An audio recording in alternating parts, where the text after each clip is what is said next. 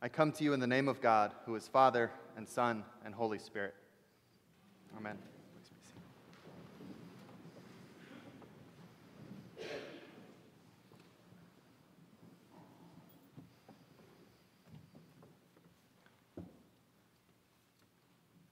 There are a lot of holidays in these past few weeks besides Christmas.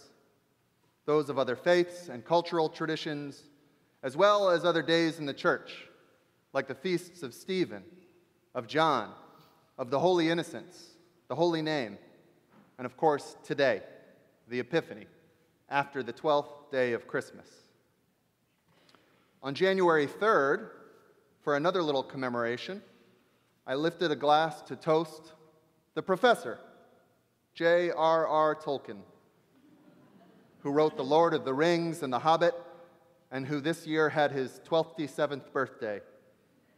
That's 127th if you don't speak Hobbit. If you're not familiar, those are quest stories with heroes resisting great evil and fighting for great good, all in a fantastical world conjured up by Tolkien's deep familiarity with European mythology and his own faithful Roman Catholic imagination. The main char- characters, the hobbits, are a diminutive people whom Tolkien modeled with great affection after his own English villagers and country folk. They love food and drink and good fellowship with cheer, though they can be a bit fussy and tend towards suspicion of difference. And they certainly don't approve of adventures or anything else that might upset the status quo. At heart, though, they're good folk, and they often rise to the challenge before them. Early on in The Lord of the Rings, Bilbo, who was the protagonist in The Hobbit, I know there are a lot of names to keep up with, warns his nephew, Frodo, the new character, to be careful. It's a dangerous business, Frodo, going out your door, he says. You step onto the road, and if you don't keep your feet, there's no knowing where you might be swept off to. Another celebration we just passed was the calendar New Year. Any of y'all have any good New Year's Eve reflections? Resolutions? What kind do you make? Massive, life changing resolutions? Just a few little tweaks and adjustments here and there? Or none, because you can't tell me what to do and I'm fine the way I am, thank you very much? How does it turn out? I know there are some people of heroic discipline and iron will out there who can accomplish whatever they set their mind to. But conventional wisdom, in my own experience at least, is that I usually peter out maybe a month, maybe two. Change is hard. Resolutions or no, though, the new year invites us to another year's journey around the sun with all the opportunities for growth that those resolutions pine for, with all the challenges reality brings, which makes their accomplishment difficult. A new journey around the sun. The Magi knew something about journeys by the end of their days, though theirs was to the Son, not around him.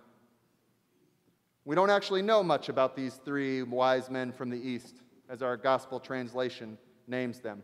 Our pageants often have them arrive with the shepherds, though that's a conflation with Luke's nativity, as Matthew doesn't mention any shepherds. No one's totally sure who started calling them kings, though our readings from Isaiah and Psalms might have been inspiration for that tradition. And while tradition names them Gaspar, Melchior, Balthazar, which are memorable names, we don't actually know that there were three of them. There were three gifts, though, which draws the pleasing symmetry of the notion.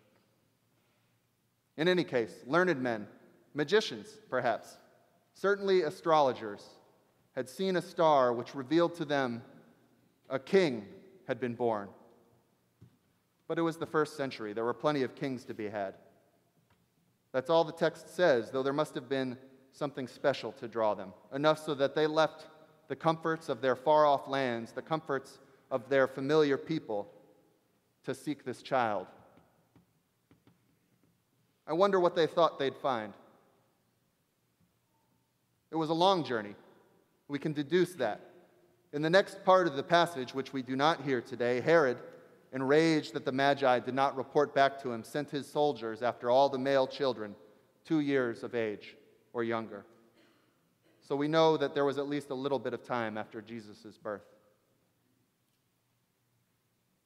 Did the Magi ever get discouraged on the way? Some stories say that there were several who began the journey but turned back after it grew challenging or after it began to take too long. They had lives to get back to, after all. Eventually, our Magi found their way to the Christ child. One of them notes dryly in the famous T.S. Eliot poem, It was, you might say, satisfactory. Matthew tells us, though, that they were overwhelmed with joy, that they were drawn to pay homage. King and God and sacrifice, our hymn names the child. Did they understand all that? Or did they just know that something was different now? That something had changed? Did they know they were the first Gentiles to recognize God's outpouring beyond his chosen people? That in this baby was the fulfillment of the promise to Abraham that in him and his line would be a blessing, not just to the people of Israel, but to all the families of the earth that, as our author of the letter to the Ephesians writes, the boundless riches of the mystery of God's loving kindness is that it is in this child offered not just to people of the right family or those clever enough to sleuth out the mystery, but offered to all, openly, plainly, simply. Here's what I believe the Magi saw, whether they knew it or not then at that moment that God's overwhelming love for his creatures, for his children, cannot be contained. It will pour out, it will break through human determined measures of worth, it will disregard human imposed borders to seek us out and to invite us to seek him. It will find us wherever we are, and it will not leave us there. I've been baking a lot recently, and this image has continued to come to me. Have you ever overproofed dough or let it rise for too long? It spills out over the container, gloriously messy, getting everywhere. I've heard it can even break glass if you leave it in the lid with the jar in, in the jar with the lid on. I think God's love might be something like that. God's love pours out so much that God is three persons love the animating energy between Father, Son, and Holy Ghost. And even in that dance of the divine Trinity, there are greater depths. God inviting us, mortals, dust of the earth, into God's heart as well. We've all been invited. God doesn't leave us where God finds us. Thank goodness. We all have a ticket. But the journey will change us. There are risks, dangers, there are challenges on the road. We may be tempted to turn back towards the comforts of what we know, of what is safe, before we find out what the hullabaloo is all about. We may feel it's too long a trip, that it costs too much. We may not be sure what we found when we get there or miss universe changing, universal good news because what we find seems too familiar, unremarkable. It may even make life difficult if we do realize what has happened, because everything then will be different. We will be different. As Eliot concludes his, his poem, the Magi was no longer at ease here in the old dispensation with an alien people clutching their gods. But, friends, I'm here to tell you the reward is worth the risk. There is joy to be had, overwhelming joy to know and feel and even see that there is a place for you in God's beloved community. That God wants you. That our worth, whatever our resolutions are or are not, however successful we may or may not be in keeping them, our worth is bound up instead in God's love for us in Christ, whatever sort of Gentile we may be. So perhaps the question is not then, what do we resolve this year?